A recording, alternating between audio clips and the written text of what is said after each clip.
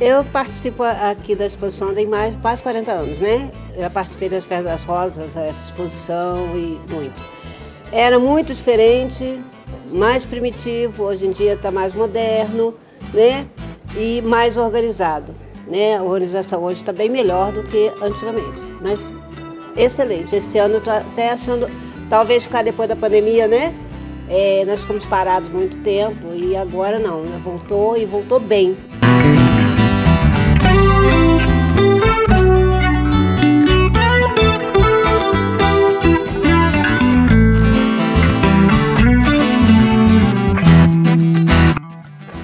Pessoal está muito animado, né? Tá com muita esperança de venda. O espaço está muito bonito e estamos aqui esperando o povo.